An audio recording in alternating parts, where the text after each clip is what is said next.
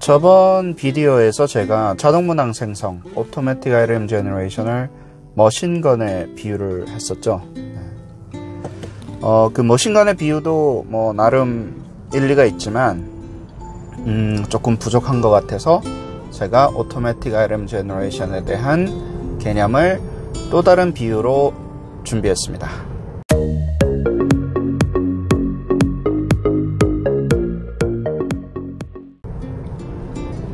오토매틱 아이템 제너레이션은 스위스 나이프다. 네. 스위스 칼 저희들 이제 뭐 특히 남자분들은 하나씩 다 어릴 때나 지금이나 혹은 다 가지고 계시잖아요. 그러면 스위스 칼 이렇게 보면 어, 칼도 있고 포크도 있고 나이프도 있고 저는 이제 그 까미노를 가려고 갔다 왔고 한 번 더 가려고 준비를 하는데 이 스위스 칼을 하나 가져가야 되나 안 가져가야 되나 되게 고민을 많이 했었어요. 가면 유용한데 아니 가져가기가 쉽지가 않거든요. 공항에서 또 이렇게 검색 때도 통과해야 되고 무겁기도 하고 암튼 그런 그 다용도 목적의 어떤 그런 칼들을 어 이거를 좀 갖고 있으면 어 되게 유용하잖아요. 그러니까 쓸 때가 많잖아요. 네, 그렇게 디스크라이브를 할 수가 있을 텐데 자동 문항 생성이 뭔가 우리가 이제 알려고 할 때그 어, 다용 다양한 어, 목적 그 용도가 아주 다양하다 이렇게 생각하시면 도움이 됩니다. 왜냐하면 한 개의 용도만 있는 게 아니라 여러 가지 용도가 있기 때문에 그래서 뭐 그렇게 뭐 숫자 바꾸고 그림 바꾸고 말 바꾸고 변형을 시키는 게뭐 what a big deal. 네. 그렇게 생각하실 때 조금 도움이 됩니다. 그래서 automatic item generation을 바라볼 때 그러면 어떤 기능이 있나 뭐 스위스 칼이라고 보면 네. 그 어떤 기능이 있는지에 대해서 알면 좋은데 그 기능이 이제 어, 주된 기능이 크게 세 가지로 나누어집니다. 네. 첫 번째는 theoretical, psychometric, 측정학의 음, psychometric 한 theory에 아주 유용하고요. 두 번째는 두 번째 유용한 것은 psychometric practice. 실제로 우리가 이제 psychometric을 현장에서 하려고 할 때 어, 맞닥뜨리는 여러 가지 문제점들이 있어요. 네. 그것들을 음, 해결하기에 어, 중요한 툴이다. 이렇게 말씀드릴 수가 있고요. 세 번째로는 기술적인 관점입니다. 저희가 어, 테크놀로지는 항상 계속해서 발전을 하고 있는데 그 테크놀로지가 있다 하더라도 어떻게 잘 사용하는 거는 또 다른 이유, 다른 어, 이슈잖아요. 네. 그래서 이렇게 음, 요즘 같이 요즘처럼 어, information and communication technology가 막 이렇게 발달을 하고 있을 때 그것들을 assessment에 어떻게 잘 가지고 와서 그런 기술들을 어떻게 잘 가지고 와서 assessment를 improve 하기 위한 유용한 어, 용도가 있어요. 네, 그렇게 크게 세 가지로 바라보고 제가 지금 준비하고 있는 책에서도 어, automatic item generation을 설명하거나 그리고 그 어떤 유용성을 설명하거나 그리고 근간 foundation을 설명을 할 때 그런 관점들을 어, 세 가지로 나눠서 설명을 합니다.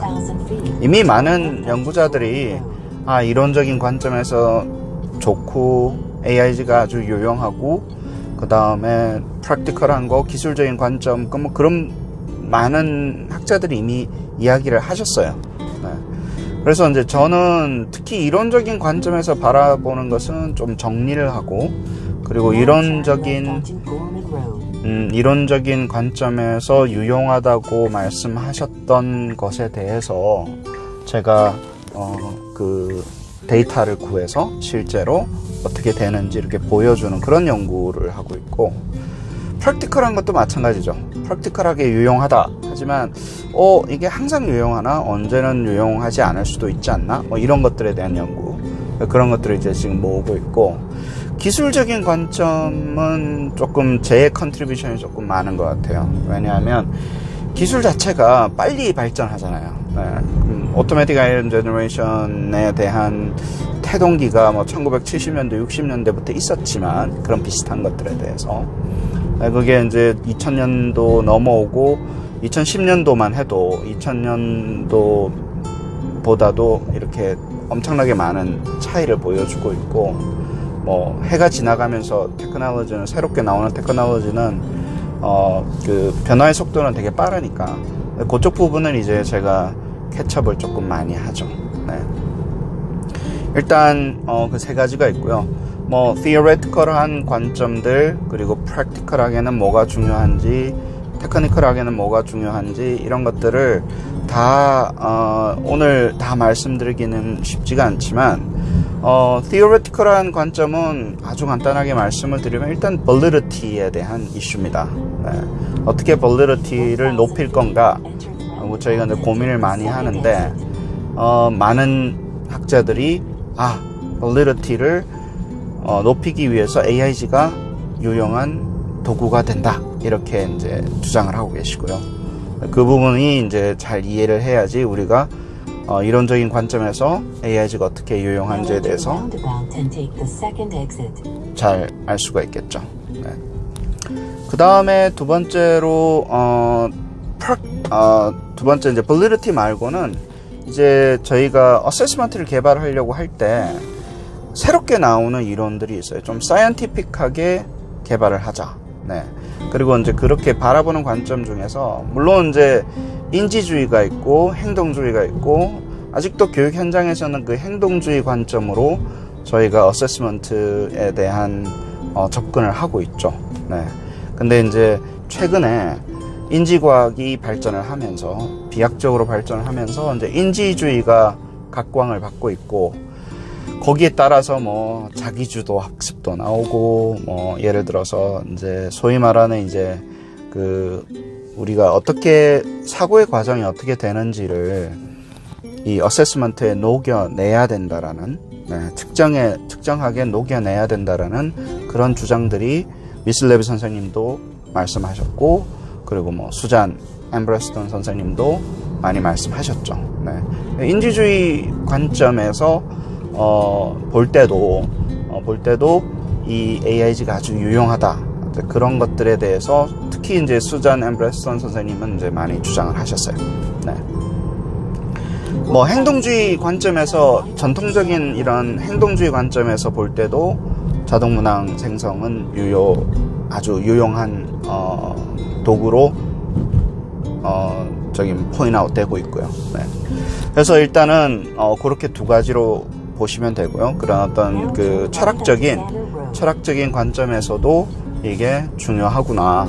네. 두 가지 그 AIG가 두 가지 철학적인 관점에서도 아주 유용하게 된다. 그거는 이제 이론적인 관점이고 practical한 걸로 넘어오면 이제 practical한 거는 이제 저희가 문항을 생성을 하고 그 문항을 음, item bank를 관리를 하고 그것을 또 scoring을 하고 분석을 하고 좀 더 이렇게 현실적인 문제로 돌아왔을 때 AIG가 참 유용하다. 그렇게 볼 수가 있고요. 가장 뭐 잘 와닿는 것은 이제 아 이 production 자체에 문항을 만들 때 item writer가 가지는 그 subjective subjectivism 어, 예. 이라 하나요? 네, 그 아주 주관성을 좀 없애서 좀 이 문항 제작을 객관화 시킬 수 있는 유용한 도구. 그리고 이거 그렇기 때문에 아주 slow하고 expensive한 process인데 좀 productive production에서 efficiency를 어떻게 높일 수 있냐. 우리가 문항 문항이나 시험을 만들 때그 네, production에서 어떻게 efficiency를 높일 수 있을까 하는 어, 고민을 하고 있을 때 이 오토매틱 RM 제너레이션이 아주 유용한 도구이다. 뭐 상식적으로 조금 와닿아요. 네. 그렇지만 문제점도 많이 있죠. 왜냐면 AIG로 또 전환하는 그 비용이라든가 시간이라든가 AIG를 임플리멘테이션 하는 어, 그 과정이 또 필요하기 때문에 그런 비용들이 뭐 실제 해보면 아, 어, substantial 하니까 네.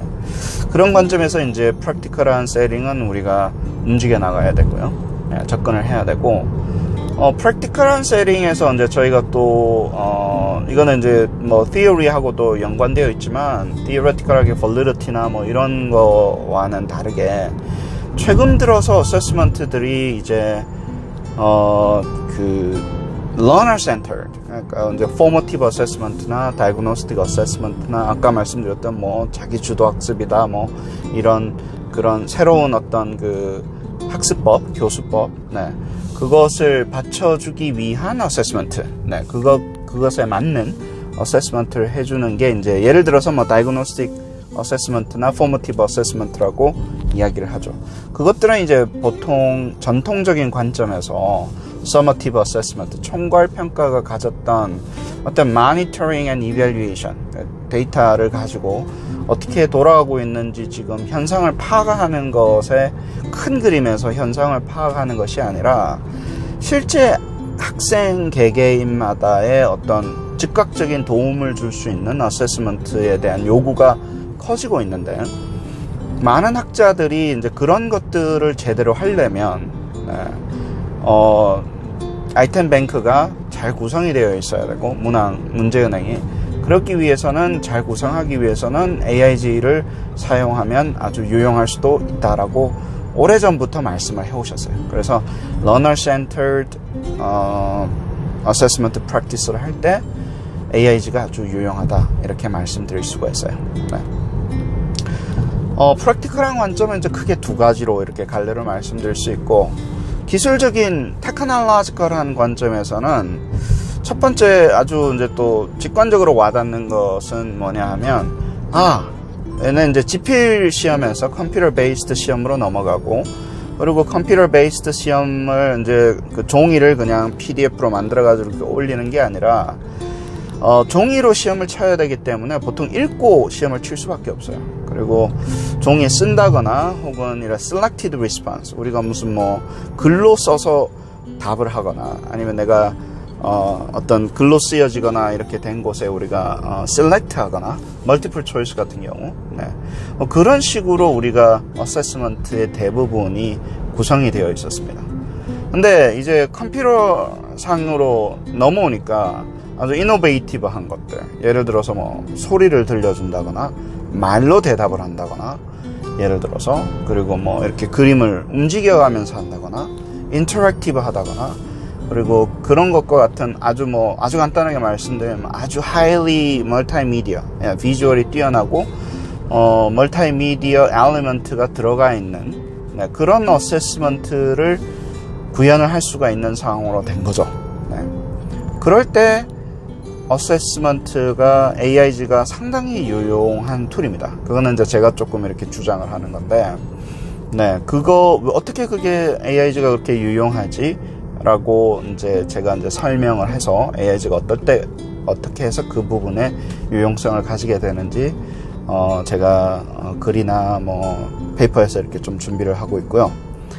두 번째 큰 관점의 기술에서의 관점은 이제 어, 기술이 아주 많이 발달하다 보니까 assessment가 이제 인터넷상에서 만들어지고 validation도 되고 스코어도 구하고 그 다음에 그 다음번에 어떻게 해야 될지 결정도 하고 그 전반적인 과정을 네, 어, 상당 부분을 이제 step by step 사람들이 했던 것을 이제 기계화 시키는 automation, 뭐 automization, 뭐 automation을 시키는 어, 그러한 어, trend로 이렇게 자꾸 넘어가고 있어요.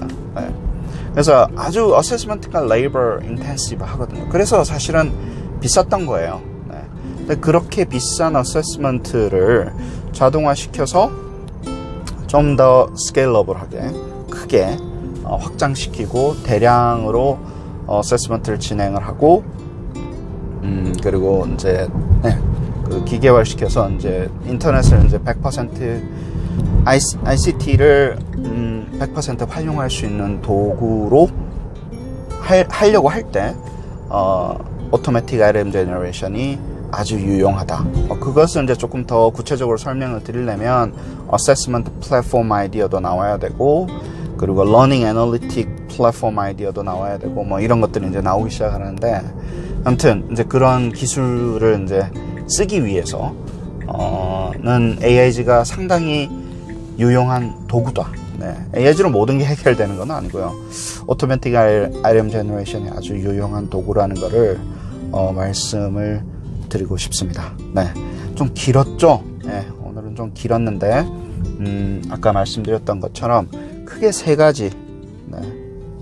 그, 그 Swiss knife처럼 세 개로 되어 있고 이론적인 관점 그 좀, 좀 practical한 관점 그리고 technological한 관점 테크놀로지는 이론과 이 그 practice에 다 연관이 되어 있어요 그래서 이론이 좌청룡 그리고 어 practice가 우백호면 그 밑에 있는 네, 그 두 개를 다 support하는 게 어, 기술적인 implication, 기술적인 관점으로 AIG를 바라보는 것이라 할 수 있겠죠. 네, 도움이 됐으면 좋겠고요. 네, 오늘도 즐거운 하루 그리고 평화로운 하루 되십시오.